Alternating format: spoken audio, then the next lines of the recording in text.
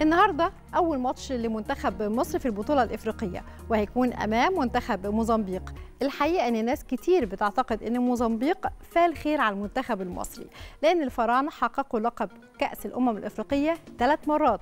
لما قابل المنتخب الموزمبيقي وفاز عليه في دور المجموعات في نسخ 1986 و 1998 و 2010 نتابع التقرير التالي.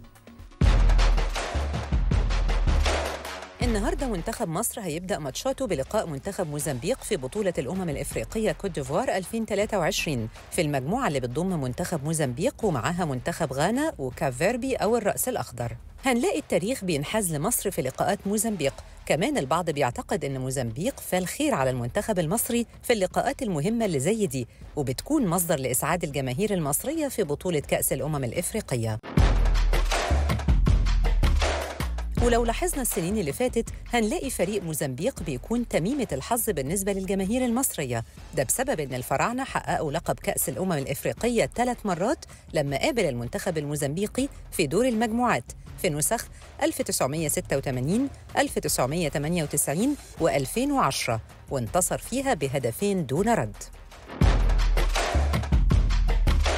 لكن النهارده منتخب الفراعنه بيتطلع في بطولة الأمم الإفريقية 2023 لتحقيق الفوز في المباراة دي علشان يسهل عليه مهمة الصعود لدور ال 16 من البطولة القارية. وهنلاقي في رغبة عند المنتخب المصري لتحقيق الفوز أمام موزمبيق علشان أسباب كتير هي زيادة فرص منتخبنا الوطني في التأهل لدور ال 16 كمان نظام النسخة الحالية من بطولة كأس الأمم الإفريقية اللي بينص على صعود صاحب المركز الأول والثاني من كل مجموعة مباشرة لدور ال 16 بالإضافة لأفضل أربع منتخبات احتلت المركز الثالث.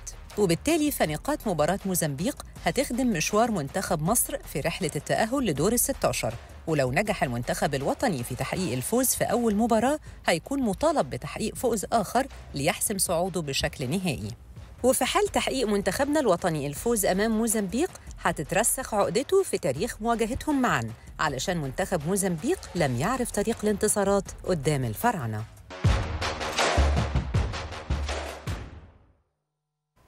زي ما تابعنا مع حضراتكم في التقرير إن مصر على موعد مع لقاء هام مع موزمبيق في أولى لقاءات افريقيا وحلم المصريين نحو اللقب الثامن.